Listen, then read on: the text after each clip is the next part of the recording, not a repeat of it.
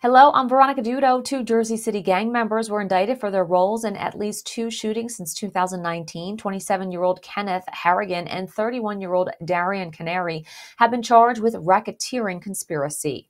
Members of the Edison Police Department saved a man from drowning in the Raritan River after he jumped off the Route 1 bridge in an apparent suicide attempt. The man was brought to the riverbank and transported to a local hospital.